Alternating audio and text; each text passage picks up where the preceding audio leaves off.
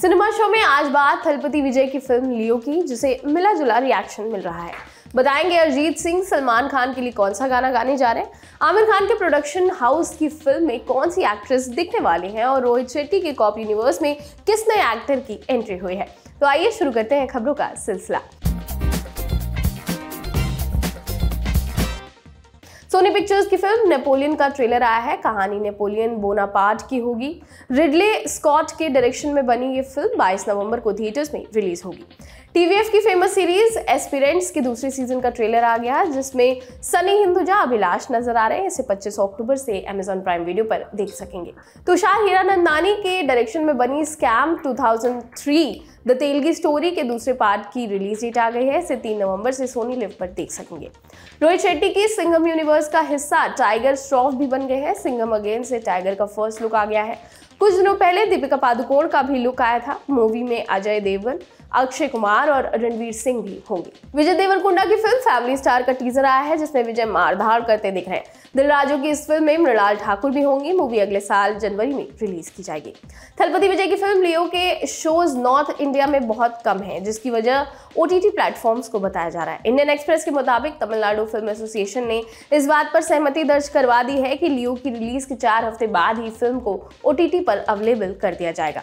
मगर north Indian market में कुछ डिस्ट्रीब्यूटर्स चार नहीं, बल्कि आठ हफ़्ते की विंडो चाहते थे। इसलिए उन्होंने लियो के हिंदी वर्जन के ज़्यादा शोज़ रखे ही नहीं। थलपति विजय की लियो देखकर थिएटर से निकली जनता मिला जुला रिस्पॉन्स दे रही कुछ लोग फ़िल्म को ठीक ठाक कह रहे हैं तो कुछ भर भर कर बुराई कर रहे हैं। लोगों का तो ये भी कहना है कि ये फ़िल्म विजय की बीस्ट से भी ज़्यादा बुरी है।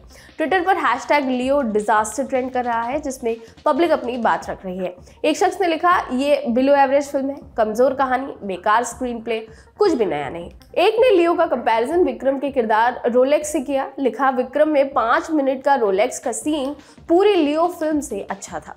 थिएटर्स में प्लीज़ झंडू बाम लेकर जाए।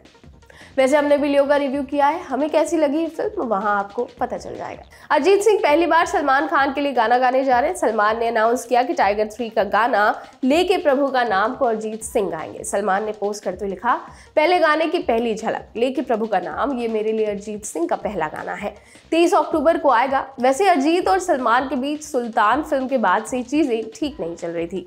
कुछ दिनों पहले अरिजीत को सलमान के घर से बाहर आते देखा गया था, जिसके बाद से ही लोग अंदाज़ा लगा रहे रहे थे कि टाइगर थ्री में अरिजीत की आवाज़ सुनने को मिल सकती है। ऋतिक रोशन की फ़िल्म वॉर टू की शूटिंग शुरू हो चुकी है। फैंस अयान और उनके क्रू मेंबर्स की फ़ोटोज़ शेयर कर रहे हैं। बताया जा रहा है कि स्पेन में एक चेस सीक्वेंस शूट किया जा रहा है। आमिर खान के प्रोडक्शन हाउस में बनने वाली एक कॉमेडी फ़िल्म में फातिमा सना शेख नज़र आने वाली है। इस मूवी को भी अद्वैत चंदन डायरेक्ट करेंगे। फातिमा जल्द ही इस अनटाइटल फ़िल्म की शूटिंग शुरू करेंगे। कॉफ़ी विद करण के आठवें सीज़न में इस बार वरुण धवन और सिद्धार्थ मल्होत्रा साथ आएँगे। इससे पहले दोनों 2013 में इस टॉक शो का हिस्सा बन चुके हैं।